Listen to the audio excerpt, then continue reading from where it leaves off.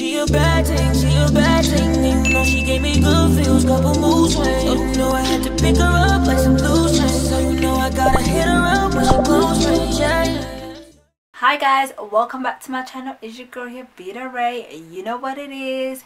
So today's video is going to be a hair video. So I'm gonna show you my pre-relaxer um, hair care routine. So I'm gonna I'm gonna relax my hair in about a week's time. So I'm gonna show you guys yeah, how I treat my hair prior to a relaxer. Okay, so if you want to see what I do, keep watching this video.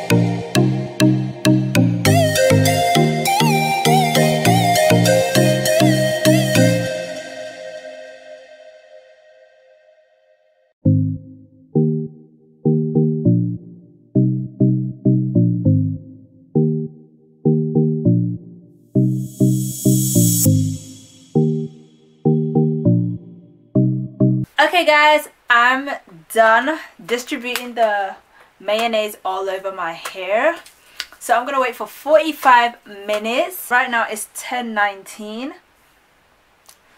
so if i'm calculating 10:19, let's just say 11:05.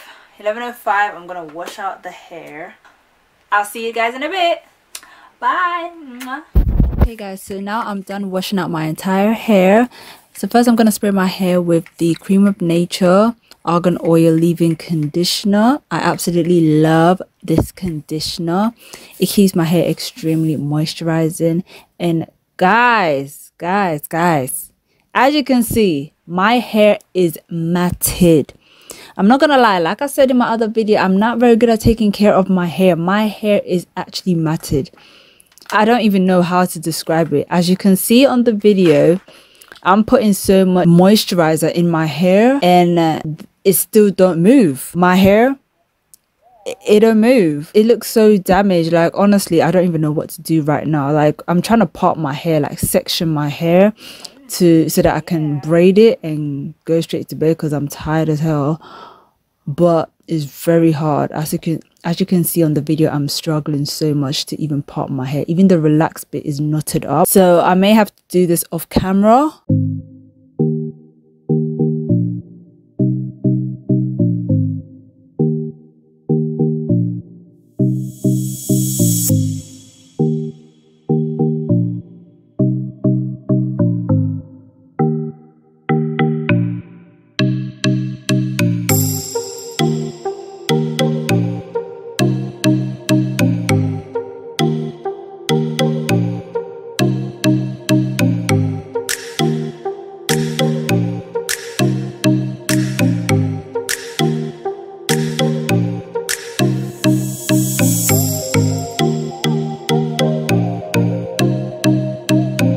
Okay guys now i am done with my hair. I blow dried my hair and i stretched the roots to make it a bit more manageable.